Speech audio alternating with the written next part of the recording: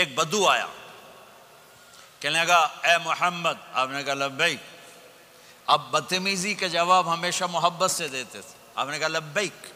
कहने लगा, तीन बातें समझ में नहीं आती तुम्हारी। आपने कहा, क्या? का तुम कहते हो हम बाप दादे का दीन छोड़कर तेरे दीन पर आएँगे, हम क्यों छोड़ेंगे?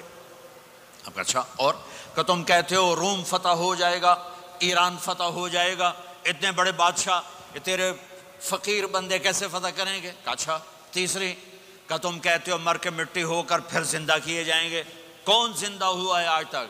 कोई प्यो दादा साडा उठी थे कब्रें सारे मोए पे कितों आ गए? आप मुस्कुराए। आपने कहा लाला का ततुल बेकल हया। इंशाल्लाह तेरी ज़िंदगी लंबी होगी। तू देखेगा, सारा अरब मेरा कलमा पड़ेगा ईरान और रोम भी टूट के आएगा।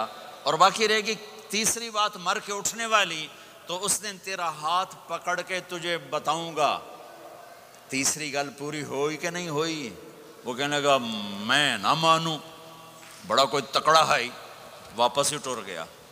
जब मक्का फतह हुआ, अरब मुसलमान हो गया कहने लगा भी, एक गलता हो गई। हज़रत उमर के ज़माने में ईरान भी फतह हो गया और रोम भी फतह हो कहने लगा दुई भी होगी कि तरी हो ही ना जावे भलिया कलमा पढ़ ला। तो उसने कलमा पढ़ा और हिजरत करके मदीने आ गया। और ज़िंदगी मदीने गुजारी।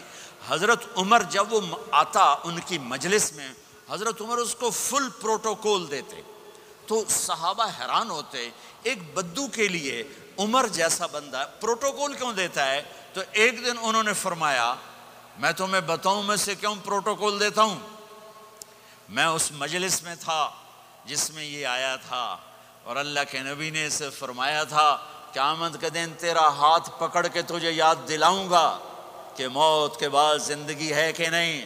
और क्यामत के दिन जिसका हाथ मेरे नबी ने पकड़ लिया, जन्नत में पहुँचाने से पहले कभी नहीं छोड़ेंगे। लिहाजा ये बड़ा खसूसी आदमी है। इसको मेरे नबी ने पकड़ के जन्नत में पहुंचाना है। मेरे भाई बहनों, में ये कहने आया हूँ, अपने हाथ छुड़ाकर नबी के हाथों में दे दो।